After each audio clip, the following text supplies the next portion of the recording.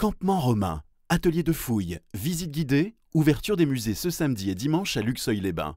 Retrouvez tout le programme des Journées européennes de l'archéologie sur luxeuil-vosges-sud.fr. Comtoise Radio, l'actu dans les Vosges saunoises. Bonjour, dans l'actualité de ce vendredi 14 juin, le cinéma Méliès de Lure fête ses 20 ans jusqu'à dimanche. Aurore Poitou, la directrice, se souvient du moment qui a changé le cinéma lors de ces 20 dernières années. Pour nous, l'événement majeur quand même de ces 20 dernières années, ça a été le passage au numérique parce que ça a complètement révolutionné euh, la profession. Meilleure qualité d'image et de son aussi.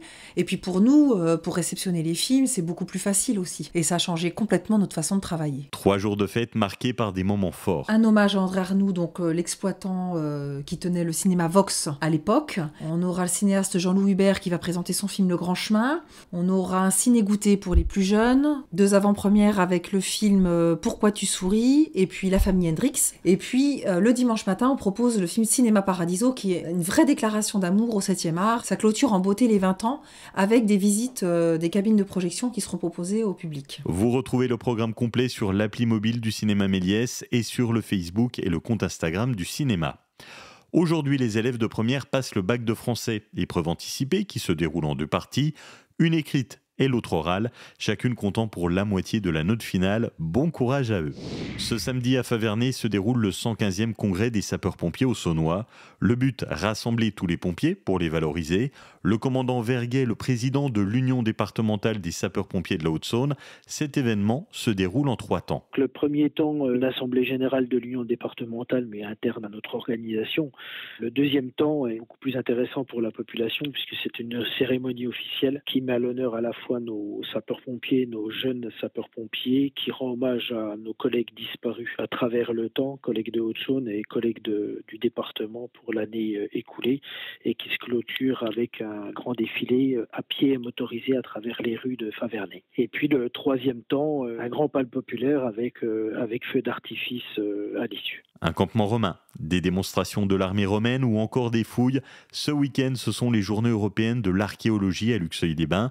C'est l'animation à voir absolument, cette reconstitution d'un camp romain avec le collectif Herculiani Renani, où vous pourrez devenir un légionnaire romain. Engagez-vous, qui disait, comme dans Astérix. Là, ce sera le cas. D'autres animations vont se dérouler à Luxeuil. Les musées seront ouverts. Vous retrouvez le programme complet sur le site de l'Office de tourisme de Luxeuil-Vosges du Sud. Aujourd'hui commence la quatrième édition du Vesoul Beach sur le site du lac de Vesoul-Vèvre. Jusqu'au 4 juillet, les classes de primaire de l'agglomération de Vesoul vont s'initier aux Olympiades. Le but, faire connaître plusieurs disciplines sportives qui seront présentes au JO de Paris et à partir du 9 juillet, le site sera ouvert au public. L'entrée est à 2 euros, gratuit pour les accompagnants. L'occasion de tester le beach rugby, la tyrolienne ou encore l'escalade.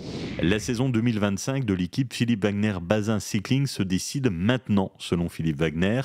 Nous sommes seulement à mi-saison et pour Philippe Wagner, les résultats sont bons et l'objectif est de passer à l'échelon supérieur, la deuxième division, UCI Pro Team pour obtenir plus de visibilité, participer à des courses plus prestigieuses et pourquoi pas le Tour de France.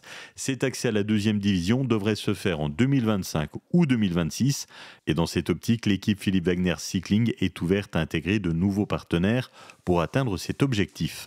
Ce samedi, dernier match de la saison pour les Luxoviennes de moins de 15 ans en handball, et il se déplace à Noix dans les Vesouls avec, au bout du bout, peut-être la Coupe de la Haute-Saône.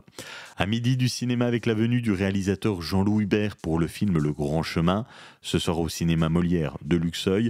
Toutes les infos dès midi dans notre podcast agenda sur Comtoise Radio. Passez un très bon week-end. À bientôt.